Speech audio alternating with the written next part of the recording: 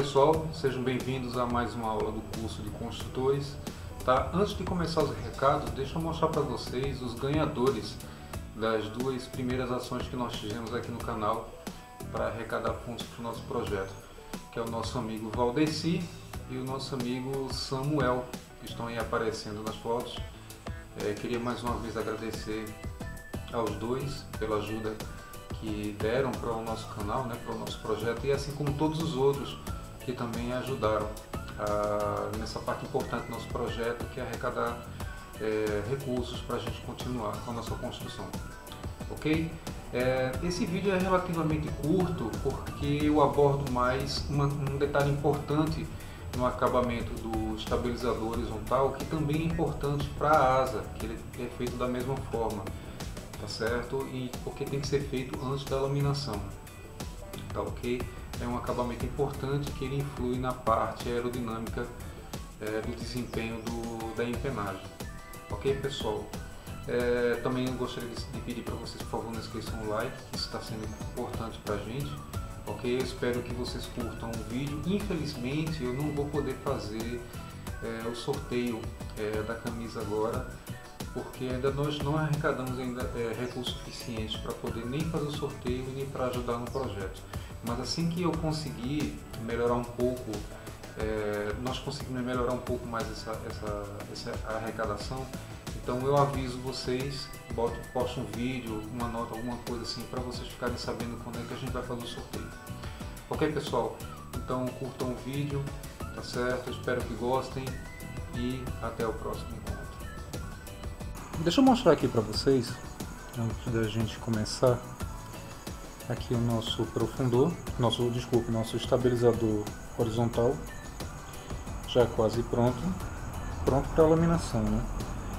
Mas já com o núcleo todo colocado, mesma técnica usada para o profundor, para o leme, não tem nada de diferente, tá certo? Marca o bloco, corta com fio quente, passa a cola e encaixa dentro. Não tem muito o que fazer não. Né? Então tá aí o nosso estabilizador horizontal quase pronto, que a gente vai agora fazer um, um trabalho nele, que é o seguinte. Aqui nos planos, olha só, aqui bem em cima da dobradiça que conecta o estabilizador ao profundor, tem essa aba aqui, ó, que ela cobre essa cantoneira de alumínio e a dobradiça, tá? Para melhorar a eficiência aerodinâmica, porque se não tivesse essa aba aqui, o vento ia turbilhonar aqui e ia causar instabilidade nessa superfície. Então elas têm essa aba aqui, tá? Vem mais ou menos aqui no eixo até o eixo da dobradiça e aqui embaixo também, tá? Então como é que a gente vai fazer essa aba? A gente vai fazer é, com fibra de vidro e manta, tá certo? É, são duas camadas, se bem que a segunda camada de fibra de vidro já é a da laminação do estabilizador, que a gente vai fazer uma, digamos que é uma pré-aba, tá? Do que vai ficar depois de laminar, porque na construção original, quando nervuras e, e é o compensado, então é muito fácil fazer isso aqui, porque você aplica o compensado aqui em cima Aí é só deixar uma margem sobrando aqui e já está feito a aba, né? Só que a gente não tem como fazer isso. Então a gente tem que partir para fazer alguma coisa que dê para fazer essa aba aqui usando o mesmo material do revestimento, que é fibra de vidro. Ok? Então eu vou preparar aqui o material. É, deixar preparado aqui a resina né, com aerosil e o tecido cortado para mostrar para vocês para a gente começar. Vou posicionar aqui o material e já já a gente volta. Então, o que, que a gente vai precisar para poder fazer essa aba? Bom, a gente vai fazer ela com manta mesmo, de fibra de vidro, tá? Que é mais grossa dá pra gente poder fazer uma aba mais durinha.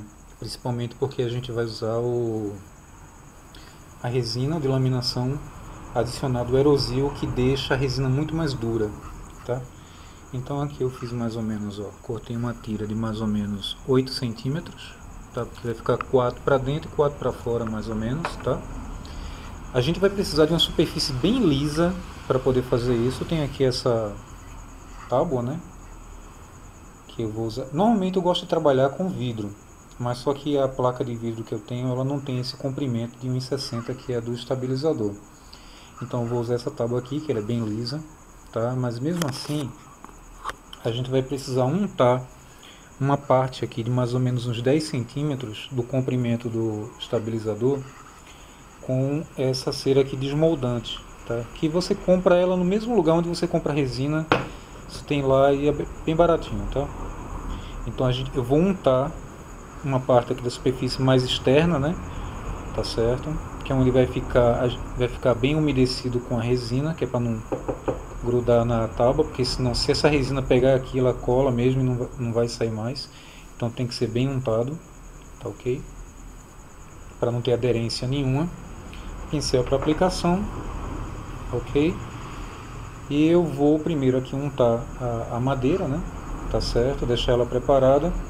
Que aí a gente, eu vou primeiro é, molhar aqui essa parte aqui da, do estabilizador começar a molhar aqui o, o a manta, né, para poder já umedecer bastante ela.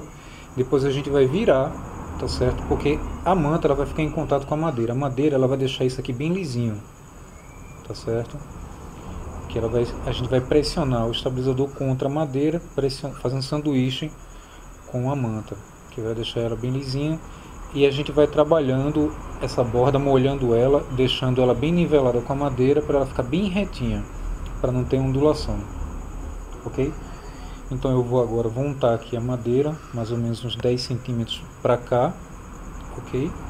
No comprimento um pouco maior que o estabilizador para não ter risco de não vazar nada para a parte seca da madeira, tá ok? Para não colar. E já já a gente volta. Pronto, já passei. Detalhe, você passa uma mão da cera desmoldante tá? Tá lá. Espera mais ou menos uns 10 minutos e aplica a outra mão da cera desmoldante. E para ter certeza que não vai ter risco nenhum da resina aderir aqui na superfície da madeira, eu ainda vou aplicar uma camada disso aqui, é desmoldante PVA, tá? Comprado no mesmo lugar onde você compra o a cera desmoldante, tá? Eu vou passar aqui um pouco.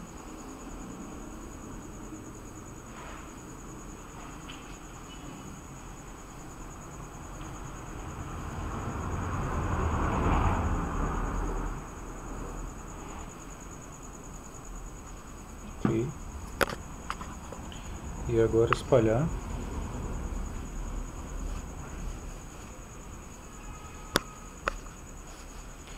Isso aqui, amigo, de jeito não tem nem perigo da resina ela aderir na superfície depois que você aplica a cera e esse desmoldante PVA. Não tem nem perigo.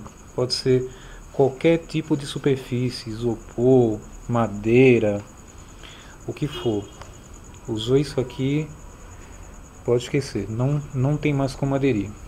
Tá? Ele forma uma camada sobre a superfície que praticamente nada, nenhum tipo de cola, resina, essas coisas elas conseguem aderir. Tá certo? Pronto.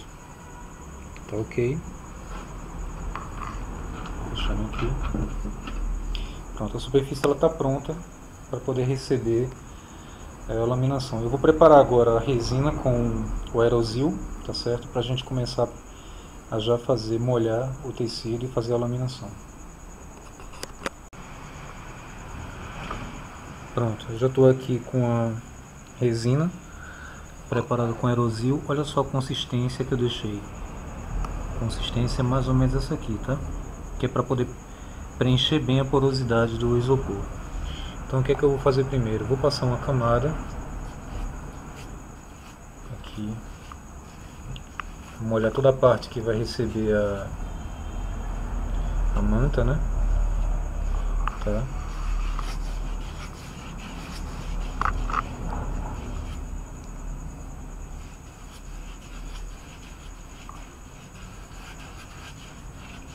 Camada simples, tá? Não é nada demais não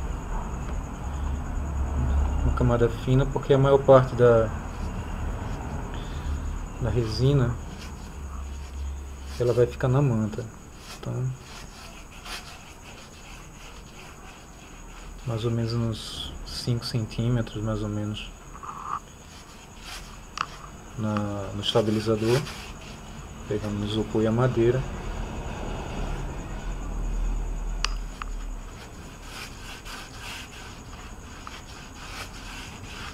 O legal do isopor P1 é que ele não tem muita porosidade. Tá? Tem uns um isopor de menor densidade que eles têm uma porosidade maior, então fica mais complicado para você preencher essa porosidade com resistência precisa uma quantidade maior de né, para poder fazer esse preenchimento. Mas aqui não, o P1 já é super legal nesse sentido, dá para fazer muito bem com ele. Pronto. Agora eu vou posicionar o, a manta, né? O problema é que eu estou aqui só com uma mão aqui pra, trabalhando aqui. Deixa eu posicionar aqui direito. Pra trabalhar com uma mão só e filmar com a outra é horrível.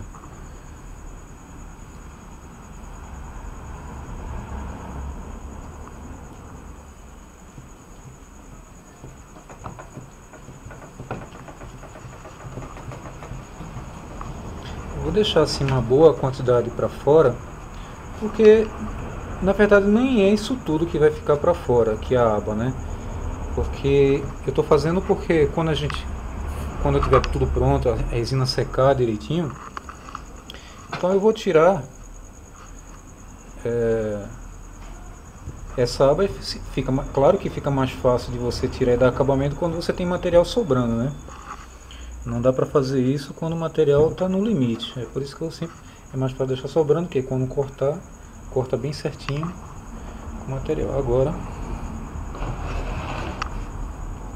agora sim, vamos embeber bastante aqui, pegando para cá, ó, o isopor, tá?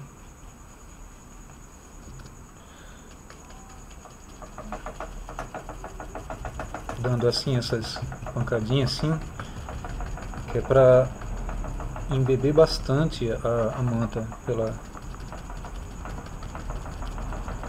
encharcar mesmo, tem que encharcar mesmo a manta quando estiver fazendo qualquer tipo de serviço de iluminação, ela tem que ficar bem encharcada, tá?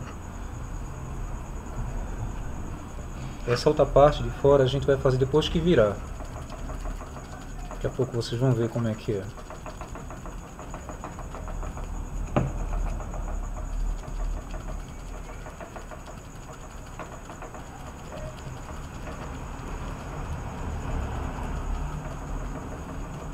Vocês estão vendo aqui como é que é? Como tá, tá muito ruim de trabalhar com uma mão só, eu vou fazer isso aqui no, no comprimento todo, tá? E daqui a pouco, quando a gente for virar, eu mostro pra vocês como é que é. Então, deixa eu terminar de fazer só essa parte aqui, na virada vocês vão... A gente... Pronto, aí depois que eu fiz todo o trabalho de molhar bastante a resina, né, a, a, a, manta em cima do, do, do estabilizador, então o que foi que eu fiz? Eu virei aquela parte que estava com a manta para baixo, aqui na borda que a gente passou a cera e o desmoldante, tá vendo? E agora eu vou fazer todo esse trabalho de molhar é, a manta do lado de cá. Eu vou molhar toda essa manta sobre a superfície de madeira que, tá, que não tem problema porque ela está toda revestida, né? Com desmoldante. E eu coloquei aqui ó, os pegadores, por quê? Porque o, o estabilizador tem um formato arredond, um pouco arredondado. Então, com isso, eu forço ele a pressionar a parte onde está o, o, a manta contra a madeira. Tá vendo aqui? E do lado de cá também.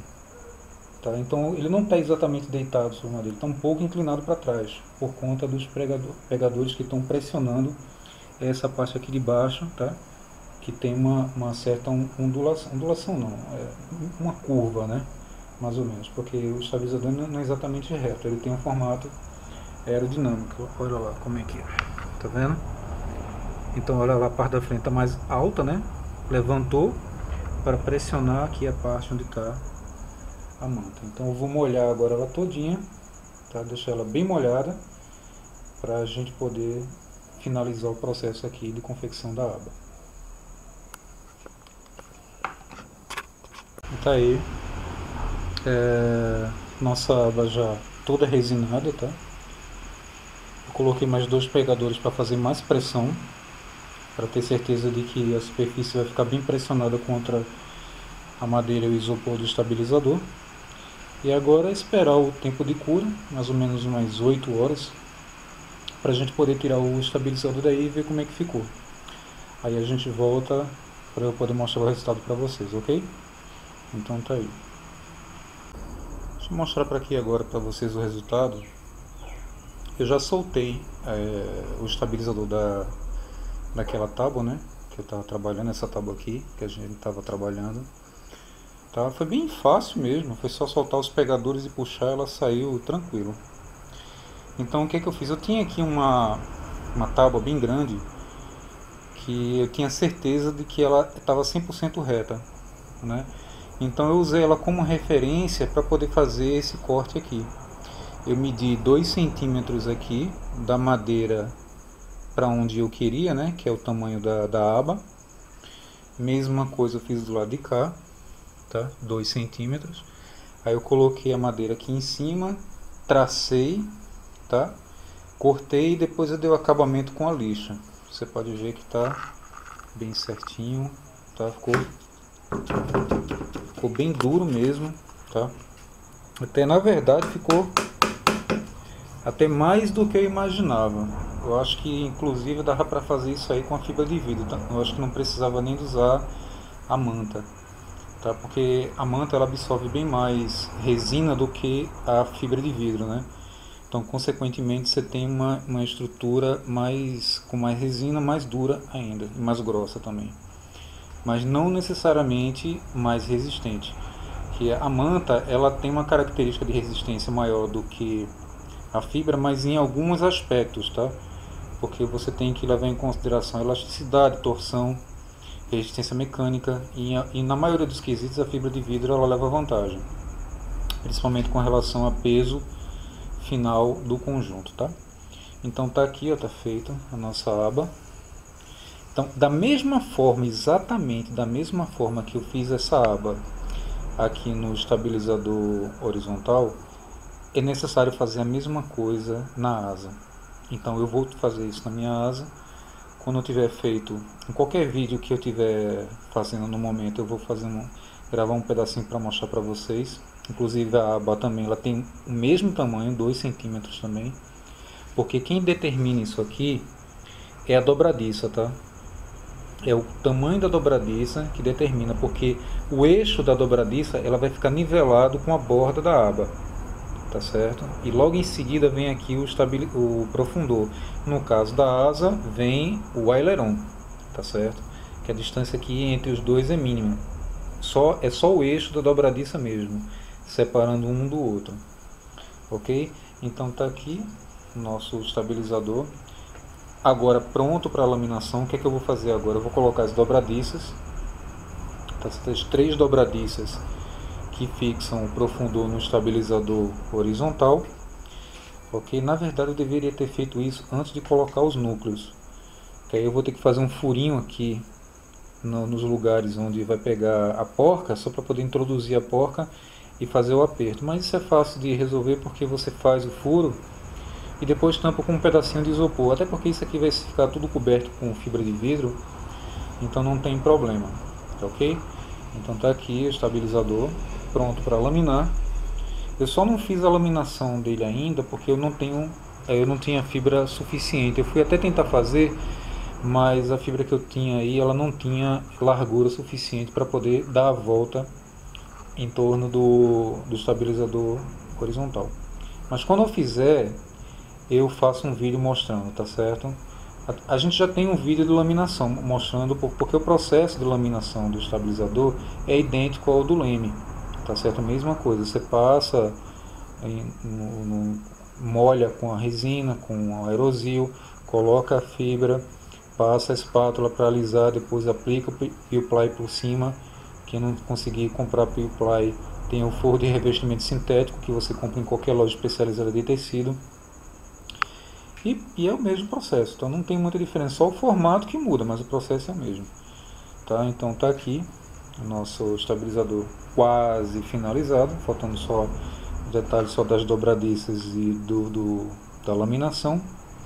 E eu vou colocar lá para vocês verem ele no lugar junto com o profundor, ok? Beleza. E tá aqui ó, nosso estabilizador horizontal no lugar.